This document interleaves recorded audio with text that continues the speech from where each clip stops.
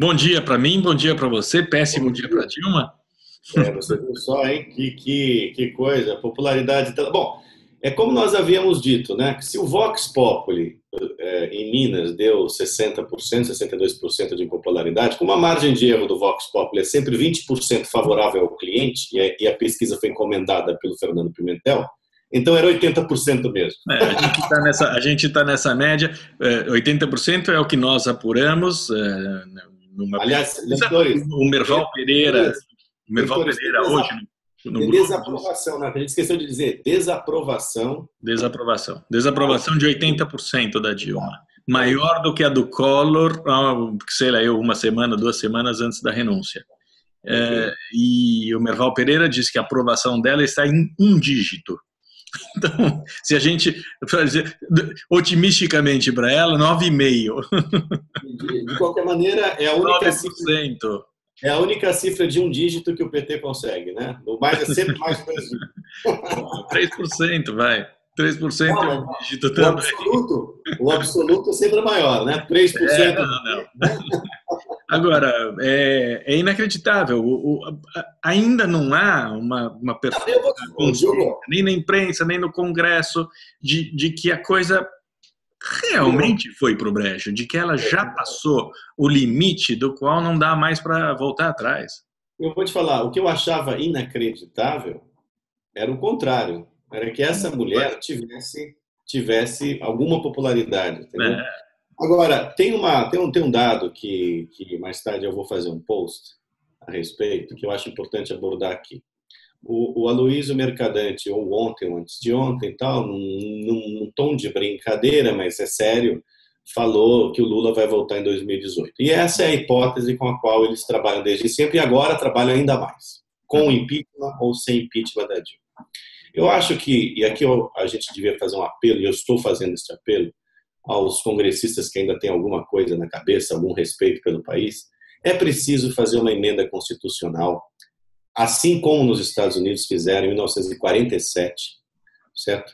Que proíba um presidente, depois de dois, de dois mandatos consecutivos ou não, voltar à presidência. É isso. Porque isso configura, isso configura, é, isso é vai contra a democracia, uhum. não é democrático. Não, lógico que não. Isso, isso é, isso significa uh, culto à personalidade, quer dizer, implica culto à personalidade, permanência, falta de alternância no poder, né? Por exemplo, uh, o, inclusive quando você coloca, o que aconteceu na Rússia é o quê? Putin Exatamente. se elegeu, colocou o Medvedev e voltou o Putin. Porque quando você controla toda a máquina, em país subdesenvolvido, como o Brasil, como Rússia, sem grande tradição democrática, é um perigo danado. Não, você veja que mesmo, mesmo nos Estados a reeleição tem de ser abolida imediatamente. É, é a reeleição em si já tem que ser abolida. Claro, claro. Mas eu acho que a reeleição em si, é, eu não sei, eu não sei a chance dela ser abolida imediatamente. Né? Uhum. Né? Mas uma emenda constitucional que proíba, né, que proíba a volta de, do Lula ou a volta de qualquer outro que já foi presidente por duas vezes consecutivamente ou não é, é fundamental. Não, acho, acho corretíssimo, mas você está parecendo Tucano. Tucano sempre fala. Não, olha, frente. o presente você... é: a mulher tem 80%. Se você tivesse me chamado. Se você tivesse me chamado. Peraí, peraí. Ela tem eu ficava menos ofendido. E ela tem três. Ontem o Pedro Barusco no, na, na, CPI falou: a mulher recebeu 300 mil dólares na campanha dela de 2010. Sou, não, eu sou um homem. Dois fatos que deveriam ocupar Sim. toda a nossa, não, não a nosso, o nosso jornal, porque ele já ocupa. Deveria ocupar todas as nossas se discussões. Meu, se você não fosse meu, meu irmão, eu ficaria muito ofendido, porque isso é, pode ser chamado filho da mãe. Tá? Eu quero, não, eu não estou aqui, não estou aqui, eu estou aqui fazendo uma manobra diversionista tirando foco. Eu estou fazendo apenas um comentário lateral que eu julgo. Está certíssimo, acho que está certíssimo. Para evitar esse tipo de coisa, querido, porque isso é fruto. Atenção, isso é o assalto à Petrobras. Se você pegar, começou em 2003 ou 2004, segundo o Barulho, enfim, começou com Lula uhum. e se estendeu pelos, pelo governo Lula inteiro, já estava encruado na Petrobras, uhum. a Dilma assumiu e a Dilma deu continuidade. Ou seja, o que eu quero dizer é que um esquema desse, não, a chance dele se estabelecer quando não há possibilidade de um partido se perpetuar no poder por 20 anos, é menor. É só isso que eu quero dizer. Claro, claro. Né? Agora, o depoimento do Barusco ontem é, acabou com as acabou com as, as ilusões petistas a respeito. Lógico, mas aqueles analfabetos, o relator é absolutamente analfabeto, eu não sei como ele vai redigir o texto, ele não deve, ele deve ter assessores iguais a ele. É inacreditável. Não é ele que redige. Você sabe que o Congresso. O Hélio Gaspi, o, o, o, o, o France. Eu não entendi. Eu não entendi. Quem é o Francis? É o, é o Paulo Francis? Paulo Francis, lógico. Porque eles eles estão eles estão usando essas armas, a Veja e o Paulo Francis, para mostrar que havia corrupção antes da chegada. Ah, porque o, ah, porque o Francis falou a história do Petro. Exatamente. A ideia deles é essa então, eles estão caçando qualquer argumento, só que eles deram com bus na água, como nós vimos ontem. O esquema deles começou em 2004, 2003, mais provavelmente, 2003, e, e prosseguiu até ontem. É, é, as duas coisas que o Pedro Barusco tinha de dizer, ele disse, é, os 150, 200 milhões de dólares roubados pelo PT, é, e operacionalizados pelo João Vacari Neto, tesoureiro do partido, e os 300 mil dólares que foram diretamente para a campanha da Dilma. É, depois disso, é, é difícil é difícil tentar estabelecer qualquer tipo de diálogo que, que, prescinda desses fatores. Eu, hoje tem um, aquele idiota, Vinícius Torres Freire, na, na, na Folha de São Paulo, falando os udenistas que, que, com sentimento golpista. Você não, você não pode fazer uma discussão com uma pessoa qualquer é, é, é, é prescindindo de mencionar esses dois fatos.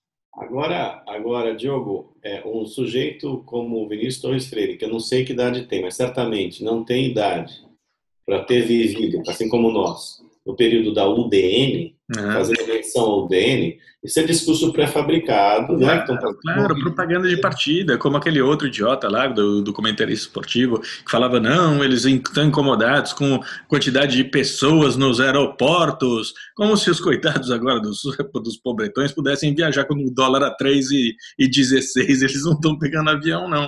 É, é, é, é, tudo, tudo propaganda. Eles reciclam a propaganda. Isso é que aparece o aspecto mais deletério uh, na, na, discussão que, que ocorre na imprensa, na cultura, na, agora, entre as pessoas. É, é, veiculação de propaganda.